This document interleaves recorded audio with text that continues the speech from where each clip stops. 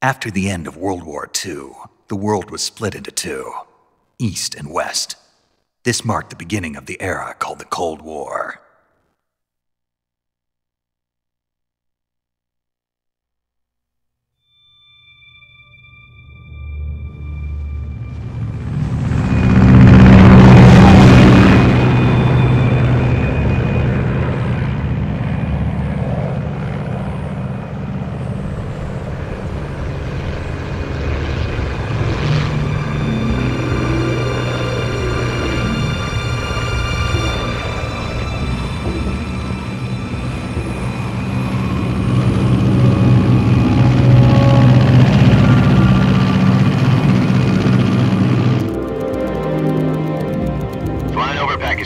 Altitude 30,000 feet. Approaching Soviet airspace. 20 minutes to drop off. Commencing internal depressurization. Equipment check. Arm main parachute. All right. You ready to go? Drop zone still showing a high pressure mass. Cav okay. Good. We've got high visibility.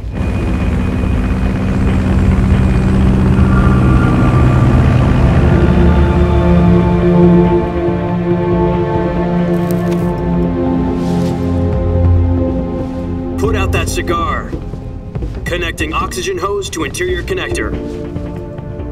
Put on your mask.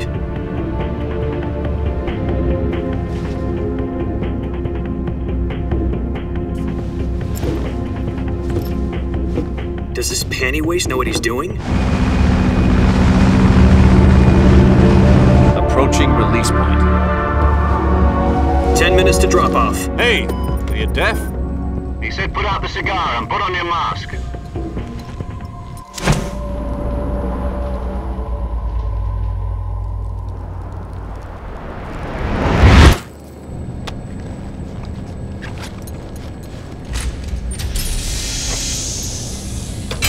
Depressurization complete. Checking oxygen supply. Six minutes to drop off. Opening rear hatch.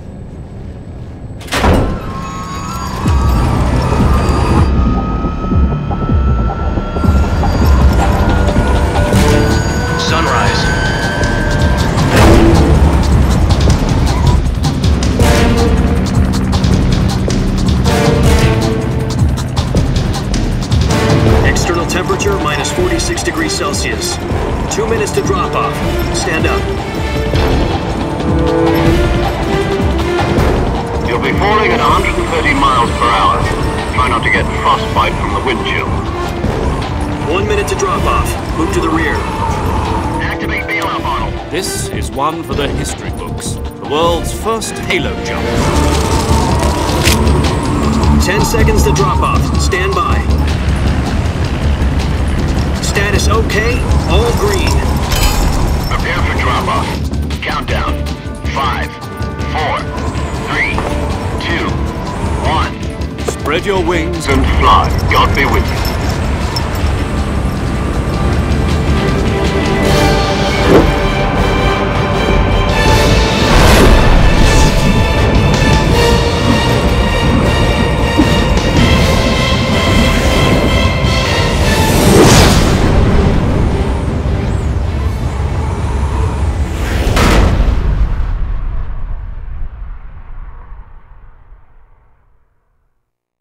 Jack, I've got some important news. The head of the CIA has finally given us the green light for the virtuous mission. Virtual mission? No, the virtuous mission. The future of our Fox unit depends on it. If it succeeds, we'll be officially organized into a unit. Virtuous mission? Sounds like some kind of initiation ritual. You know, don't get cocky. This isn't a training op. Right. So, what exactly is this wonderful mission? Well, about two years ago, a certain Soviet scientist requested asylum in the West through one of our moles. His name is Nikolai Stepanovich Sokolov. He's head of the OKB 754 Design Bureau, one of the Soviets' top secret weapon research facilities, and the East's foremost expert on weapons development. Sokolov. Isn't he that famous rocket scientist? The very same. On April the 12th, 1961, the Soviets achieved the first manned spaceflight in history. The Earth was blue, but there was no God. Well spoken. The rocket that carried Yuri Gagarin to orbit was the A 1, known as the Vostok rocket. Sokolov is said to be the man most responsible for the multi engine cluster used in that rocket. After Gagarin's flight, Sokolov left rocket development become the head of the newly established Design Bureau. From a lowly technician to head of a design bureau, that's quite a success story, so why do you want to defect? It seems he'd become afraid of his own creations. Afraid? Call it a crisis of conscience. And for that, he left his country and his family behind and went over the fence? Not exactly. One of his conditions was that his family was also to be taken safely to the west. Used a mole to get the family out first and succeeded in sneaking Sokolov over the Berlin Wall shortly afterwards. I was the one who conducted the operation. The security on the eastern side was still full of holes back then. Then what? We got Sokolov over in one piece, but the whole ordeal had left him exhausted, and we checked him into a hospital in West Berlin. It took him two weeks and more than 600 miles to get from the research facility in the Soviet Union to Berlin. He was in no condition to say anything coherent. And it was only a week later that we had something much bigger on our hands. The Cuban Missile Crisis. October the 16th, 1962, President Kennedy received word that the Soviets were in the process of deploying intermediate range ballistic missiles in Cuba. The President demanded that the Soviets dismantle and remove the missiles. At the same time, he announced a naval blockade to prevent further missile shipments from reaching Cuba. But the Soviets didn't back down, instead, placing their armed forces on secondary alert. Soviet transport ships carrying missiles continued on course towards Cuba. US and Soviet forces went on alert for an all out nuclear war. Frantic negotiations were conducted through the UN's Emergency Security Council and unofficial channels to end the hair trigger standoff. Finally, on October the 28th, the Soviet Union agreed to remove its missiles from Cuba, and so the world avoided a nuclear holocaust. But in order to get the Soviets to pull their missiles out, we had to make a deal. You mean the one where the US agreed to remove its IRBMs from Turkey? No. The Jupiter IRBMs deployed in Turkey were obsolete, and we were going to get rid of them anyway. They had no strategic value whatsoever to either the US or the Russians. The Turkey deal was a ruse, a cover story that was fed to the other intelligence agencies around the world. So, what did the Russians really want? Sokolov. They wanted us to return Sokolov. You mean the Soviets pulled out of Cuba just to get their hands on Sokolov? That's right. What the hell was he working on? At the time, we had no idea. We were running out of time. Was either give up Sokolov or risk full scale nuclear war. In the end, we had no choice. President Kennedy gave in to Khrushchev's demand.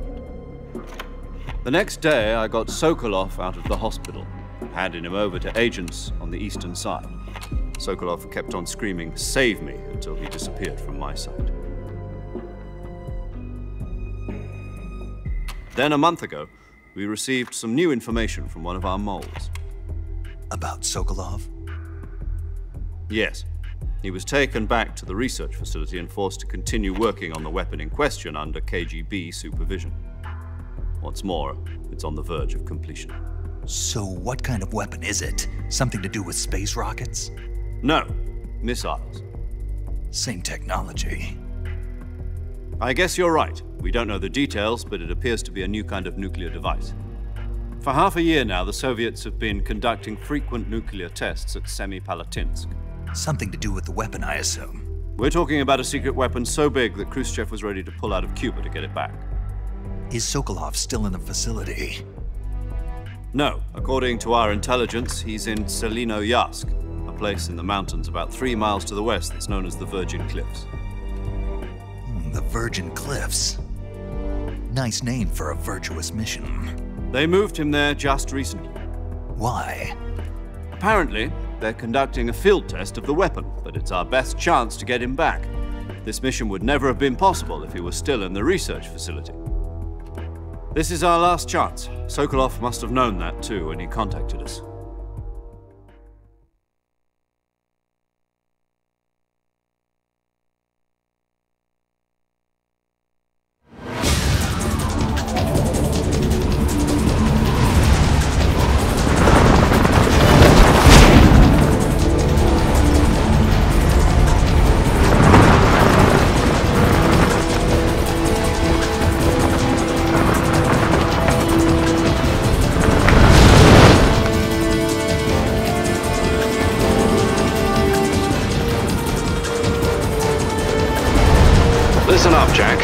Mission is to infiltrate Tselinoyarsk in the Soviet mountains, ensure the safety of Sokolov, and bring him back to the West.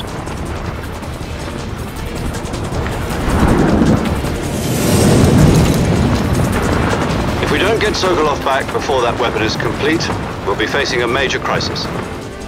The clock is ticking.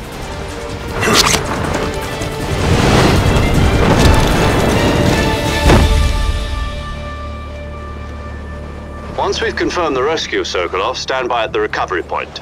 A recovery balloon will be dropped at that point. Helium will be pumped into the balloon to inflate it. The process takes about 20 minutes. Once it's complete, the gunship's arm will latch onto the balloon and pull it up. The Fulton surface-to-air recovery system. I'm familiar with the theory. Take it easy. It's been combat proven. Do you think Sokolov is up to it? The shock will be less than during a parachute jump, and the arm can handle up to 500 pounds. So you're planning on going over the border in a single Combat Talon? She's equipped with two 6-barrel 20mm Vulcan cannons, as well as two 40mm machine guns. Sounds like she could hold her own against a battalion of tanks. Even with the fuel in the reserve tank, we're facing a four-hour time limit. If all goes well, it shouldn't take more than a few hours. Home in time for dinner. But if anything goes wrong, you'll be eating dinner, breakfast, and all the rest of your meals in the jungle.